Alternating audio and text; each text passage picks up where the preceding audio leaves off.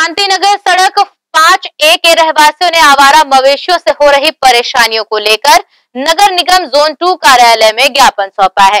ज्ञापन में मवेशियों के कारण दोपहिया वाहनों के गिरने, गंदगी फैलाने और सड़क से गुजरते लोगों पर मवेशियों के हमले का उल्लेख किया गया है। नगर निगम प्रशासन द्वारा आवारा मवेशियों की धरपकड़ को लेकर अभियान चलाए जाने की बातें कही जाती हैं। अभियान की सत्यता शांति नगर सड़क पाँच फाइव ए में देखी जा सकती है।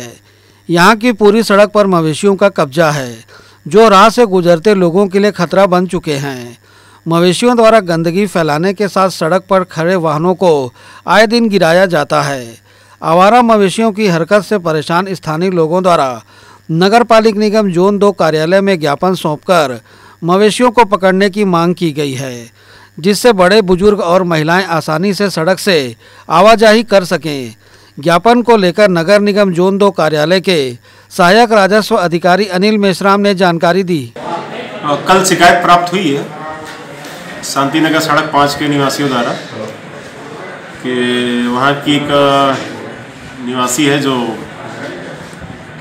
गाय बिल्ली और भी अन्य पशु जो है हम्म, उनको संरक्षण प्रदान कर रही है जिससे वहाँ पे गंदगी का वातावरण भी पैदा हो रहा है और भय का भी पशुओं से जो है, अचानक वो मार वार देते हैं और नागरिकों को परेशानी हो रही है। तो उस संबंध में हमने स्वास्थ्य विभाग को और अपने राजस्व विभाग को नोटिस देने के लिए निर्देशित कर दिया है। और नोटिस जारी करने के बाद में एक निर्धारित समय दिया जाएगा। उस समय में यदि वे वहाँ से वो जानवर नहीं हटाते हैं तो जो भी विधि सम्मत कार्रवाई होगी, वो नगर निगम प्रशासन द्वारा की जाएगी। आवारा मवेशियों से परेशान शांति नगर सड़क पाँच के रहवासियों ने अपनी प्रतिक्रिया दी।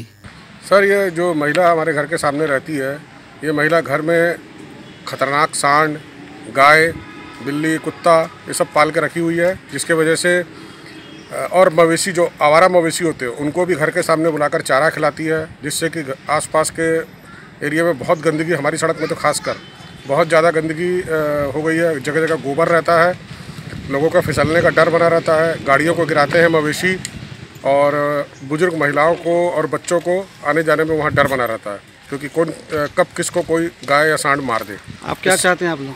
मैं चाहता हूँ कि निगम इस मामले में संज्ञान लेते हुए जो सख्त कार्रवाई होती है वो करे वो खटाल को तबेले को बंद करवाए।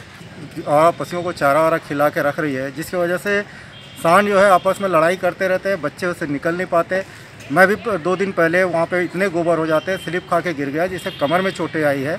इस तरह से आर्थिक और शारीरिक दोनों तरह से परेशानियाँ हो रही है तो स्वास्थ्य भी खराब हो रहा है वहाँ पर अभी नगर निगम से यही बोला गया साहब के द्वारा कि हम इसको जल्द तुरंत कार्यवाही करते हैं, विधि सम्मत, ये उन्होंने बोला है और नोटिस उनको लिए जारी किए हैं, ऐसा बताया उन्होंने। बहरहाल, अधिकारियों ने आवारा मवेशियों को पकड़ने का आश्वासन रहवासियों को दिया है। देखना होगा कब तक मवेशियों के आतंक से लोगों को निजात मिल पाती है। ग्रैंड एशियन न्यूज़ के लिए संजय दुबे।